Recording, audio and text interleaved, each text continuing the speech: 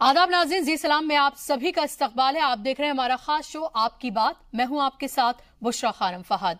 गुजरात का नाम जब जब मुसलमानों के हवाले से सामने आता है। या जहन में आता है तो 2002 गुजरात फसादात ही सबसे पहले जहन में आते हैं। लेकिन आज हम आपको गुजरात से एक ऐसी खबर दिखाने जा रहे हैं, जो आपके चेहरे पर मुस्कान लाएगी, आपका हौसला बढ़ाएगी नाउमीदियों से उम्मीद की तरफ़ ले जाएगी, किस्मत से ज़्यादा मेहनत और खुद पर भरोसा करना सिखाएगी। माँ की अहमियत उनकी कुर्बानियों को बताएगी और ये यकीन दिलाएगी कि अगर आप पर आपको अगर खुद पर भरोसा है और कुछ करने का जुनून है तो गुर्बत, माशी, तंगी, सहूलियात की कमी कुछ भी हो, आपकी मंजिल आपको ज़रूर मिलेगी।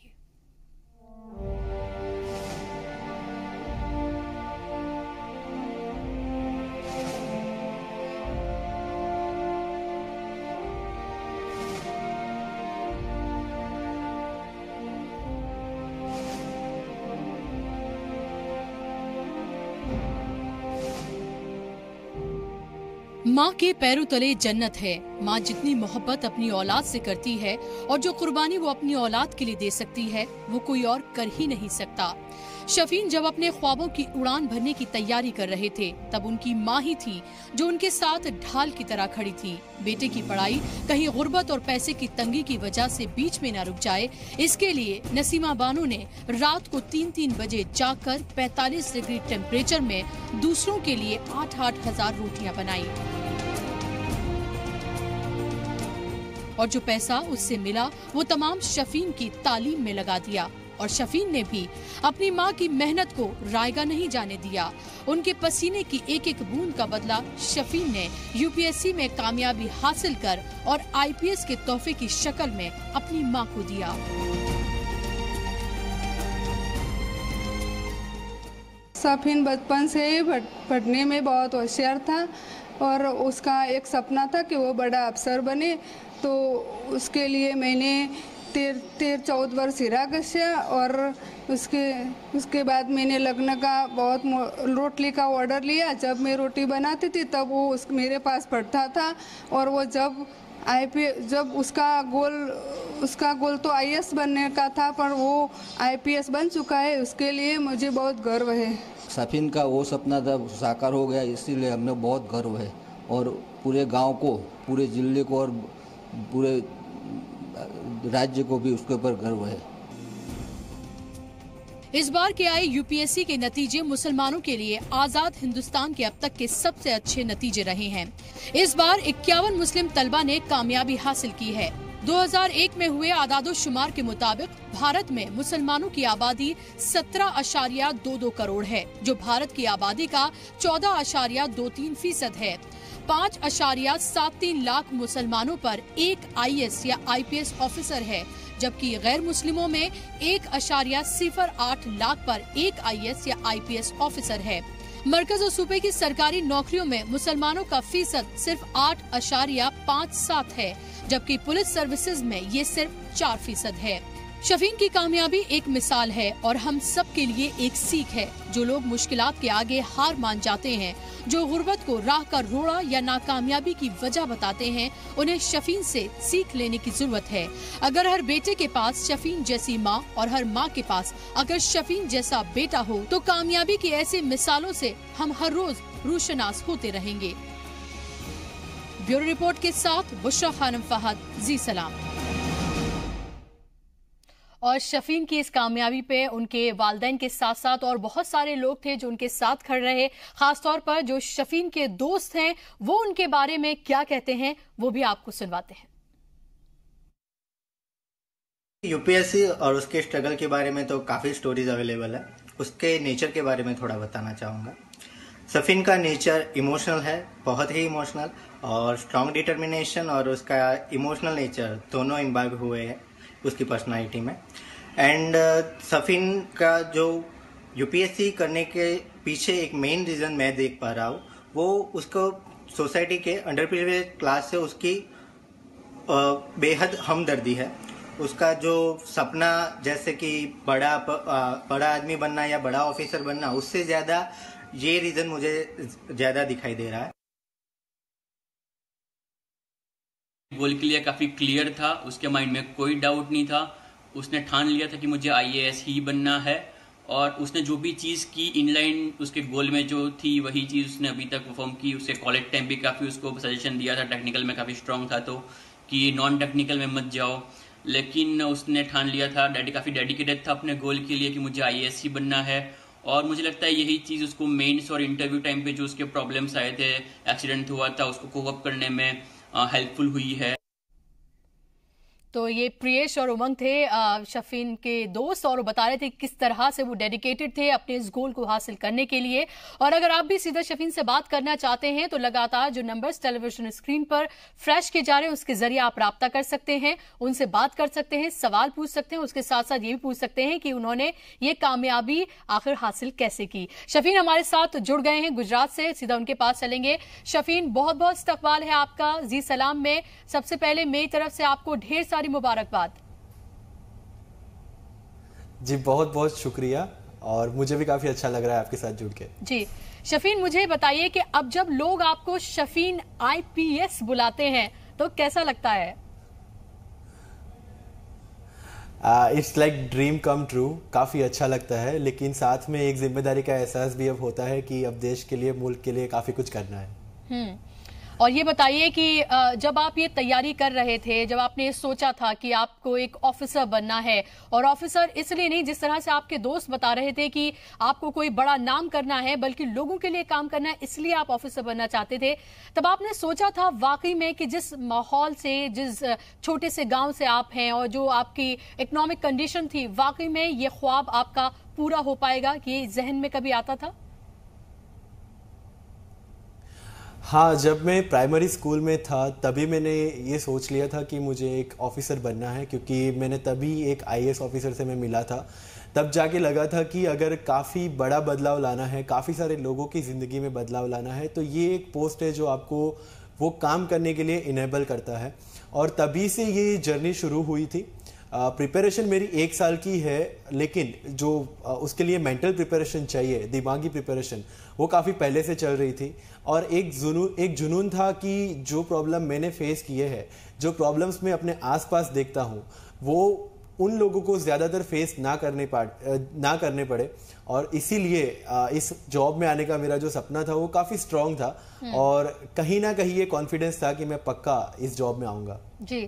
और जब माँ सुबह में उठकर, रात को तीन तीन बजे उठकर जब रोटियाँ बनाती थी, पसीनों में तरबतर होती थी 45 डिग्री टेम्परेचर में, और सिर्फ़ इसलिए वो एक्स्ट्रा अर्न करना चाहती थी ताकि शफीन का जो ख्वाब है, जो उनके बेटे का ख्वाब है, उसको वो पूरा कर सकें। उस वक्त क्या कुछ जहन में चलता था और कुछ हमारे साथ साझा करिए, क्या कुछ चल रहा था उस वक्त और माँ किस तरह से इतनी मेहनत कर रही थी और इसीलिए शायद कहते भी हैं कि माँ से ज़्यादा जो है अपनी औलाद के लिए कोई कर नहीं सकता। जी, बेशक आपकी बात सही है। जब मम्मी रोटियाँ बनाने के लिए उठते थे सुबह एक बजे, दो बजे, तीन बजे, मैं भी उनके साथ ही उठ जाया करता था क्योंकि मैं भी तब नाइन्थ टेंथ में था तो मेरी स्टडीज़ चल रही थी। तो वो जब देख के एक मोटिवेशन ऑलवेज रहता था कि ये जो अभी कर रहे हैं मम्मी मेरे लिए, उसका बदला मुझे पक्का देना है और वही चीज़ मुझे मोटिवेट करती थी रात को एक बजे, दो बजे उठने के लिए और पढ़ने के लिए। तो बेशक उनका कंट्रीब्यूशन मतलब लफ्ज़ों में बया नहीं हो सकता। उसके साथ साथ एक चीज़ जो मेरे मम्मी पापा ने मुझे दी थी, वो थी खाब देखने की आज़ादी। उन्होंने कभी मुझे ये नहीं बोला कि तुझे ये बनना है, तुझे वो बनना है। मैंने जब उनको बोला कि मुझे ऑफिसर बनना है तो उन्होंने बोला कि ठीक है, तू, तुझे जैसे बनना है, जैसे करना है तो कर, हम तेरे साथ हैं। और शायद इसी वजह से मैं आज यहाँ तक पहुँच पाया जी। शफीन, जब रिज़ल्ट आया था और जब आपको आपने ये देखा कि आपको कामयाबी मिल गई है आई एम श्योर आपने कई बार रीचेक किया होगा कि वाकई में ये हो गया। उसके बाद जब आपने अपने पेरेंट्स को खासतौर पे अपनी माँ को आपने सबसे पहले जब बताया था तो क्या था रिएक्शन Uh, मैं घर से बाहर था जब मेरा रिज़ल्ट आया मैंने देखा।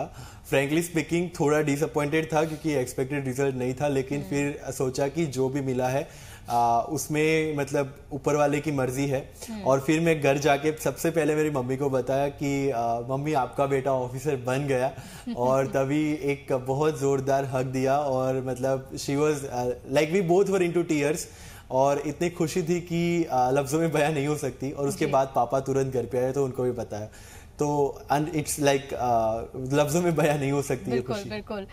शफीन मुझे बताइए कि आज जब आप जब तालीमी आप देखते हैं खासतौर मुसलमानों की अगर हम बात करें तो उनका जो स्टैंडर्ड देखते हैं तालीम का या किस कहाँ वो पहुँचे हुए हैं उसको देखकर आपको क्या लगता है वाकई में? क्योंकि इस बार ये कहा गया कि आज़ादी के बाद सबसे ज़्यादा अच्छा रिज़ल्ट रहा है यूपीएससी में मुसलमानों का।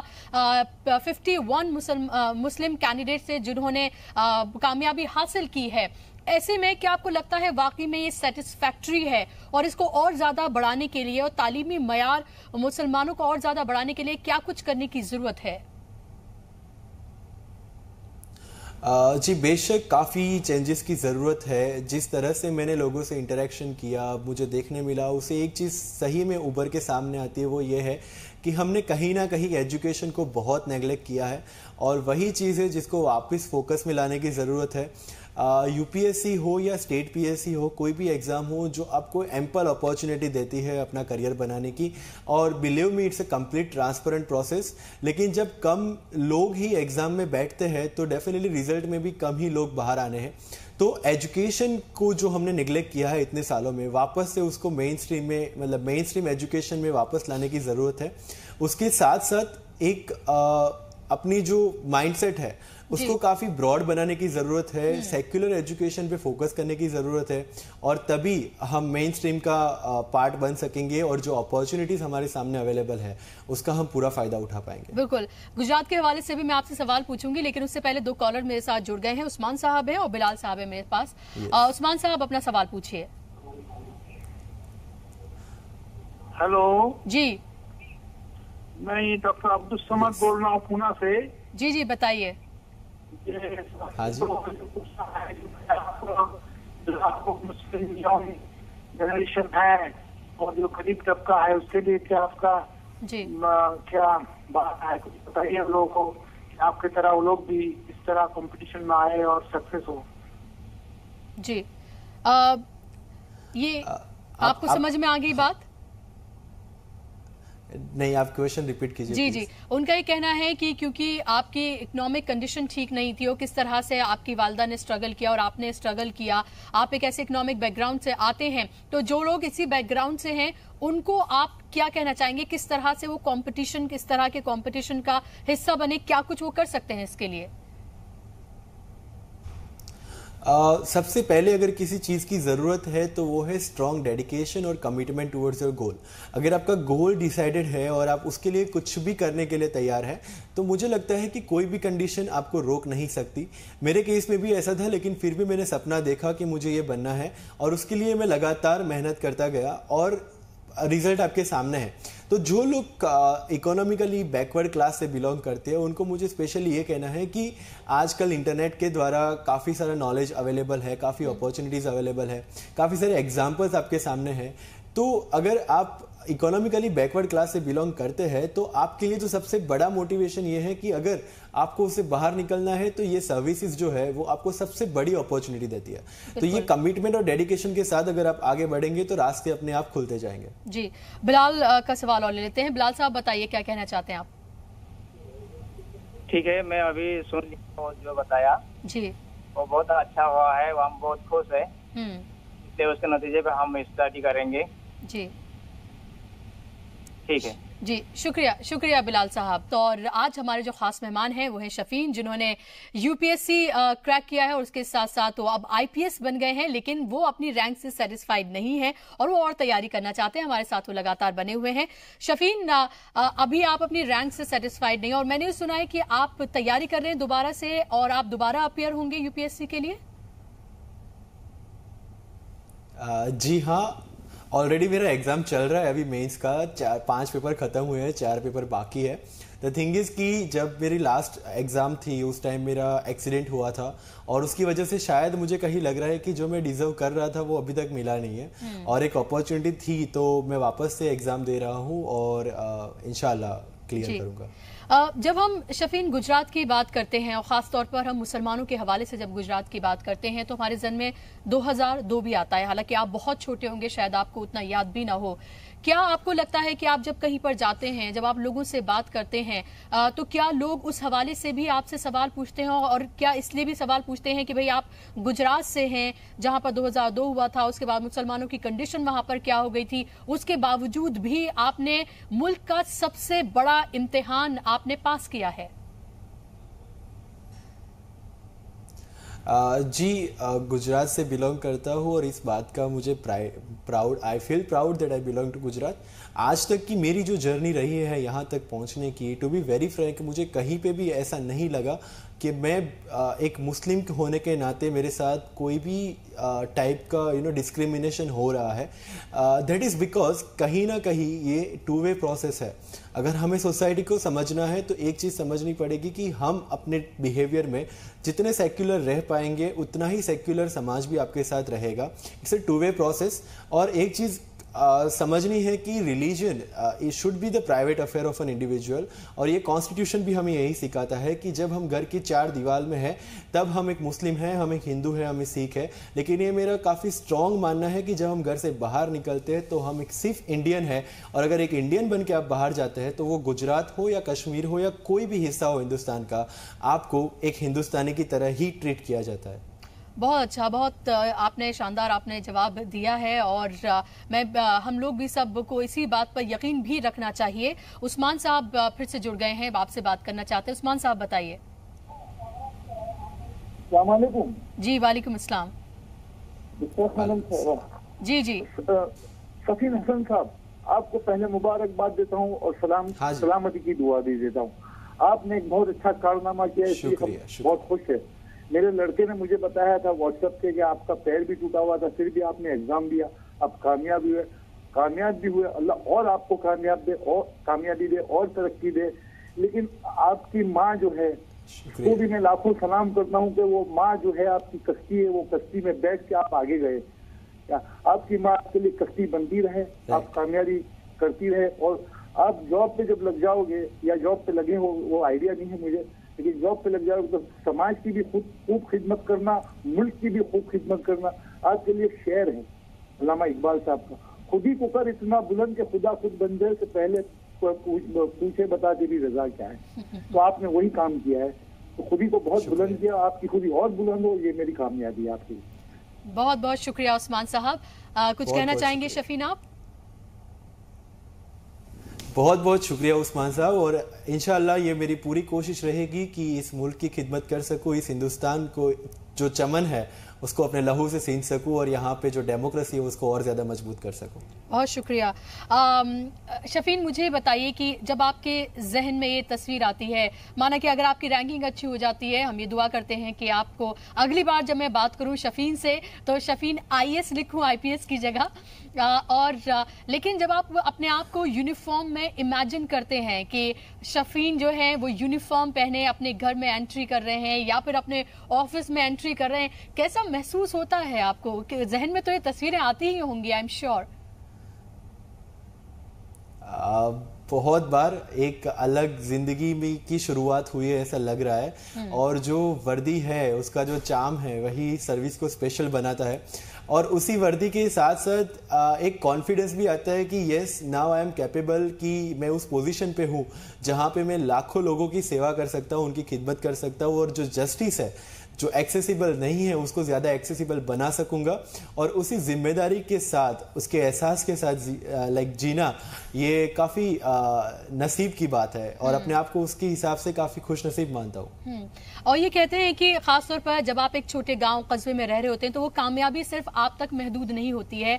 वो सिर्फ़ आपके घर तक नहीं होती बल्कि उस गाँव की उस ज़िले की तमाम लोगों की कामयाबी होती है। जब आपने कामयाबी हासिल की थी आई एम श्योर बहुत सारे लोग बिना ये बिना ये सोचे कि आपका नाम शफीन है, ये सोच के कि उनके गाँव के लड़के ने कामयाबी हासिल की है, आपके घर पर आए होंगे। जी, मेरे, मेरी जो सक्सेस थी, वो पूरे गाँव की सक्सेस थी। सारे गाँव ने मिलके मुझे नवाजा, काफ़ी मोहब्बत दी। और अभी तो ये सीन है कि being the youngest IPS of Gujarat पूरा गुजरात जो प्यार और मोहब्बतें मुझे दे रहा है, वो कम्प्लीटली अनएक्सपेक्टेड है। और मतलब काफ़ी अच्छा लग रहा है कि सारे गुजरात से मुझे इतना अच्छा रिस्पांस मिल रहा है। हम्म, आप सिर्फ़ 22 साल के हैं और ज़ाहिर सी बात है कि यंगेस्ट आईपीएस हैं आप गुजरात से। आ, मेरे पास 30 सेकंड है मैं बस ये चाहूँगी कि आप गुजरात के लोगों को पूरे मुल्क को क्या आप मैसेज देना चाहेंगे? आ, मैं सभी लोगों को एक ही मैसेज देना चाहता हूँ कि ये मुल्क आ, काफ़ी इस हिंदुस्तान का दूसरा नाम मोहब्बत है हिंदुस्तान का दूसरा नाम अमन है और हम सबको मिलकर यही कोशिश करनी चाहिए कि इस अमन को इस मोहब्बत को हम पूरी दुनिया में फैला सकें और हमारा जो रोल है हम उसको पूरी अच्छे से अदा करें। एक ऑफिसर हम बाद में हैं हम पहले इस देश के एक अच्छे सिटीजन बने और वही मेरी सबसे अपील है। बहुत बहुत शुक्रिया शफीन आपका हमारे साथ बात करने के लिए। मेरी तमाम नए ख्वाहिशात आपके साथ हैं कि आप इसी तरह से कामयाबी हासिल करें आपकी रैंक अच्छी हो जिसकी आप तैयारी कर रहे हैं और लगातार आप मेहनत कर रहे हैं और आप आप अपनी अम्मी को भी मेरी तरफ़ से मुबारकबाद पेश करेगा बहुत शुक्रिया हमारे साथ जुड़ने के लिए। पक्का पक्का। बहुत बहुत शुक्रिया। और इसी के साथ हमारे आज के इस प्रोग्राम में बस इतना ही।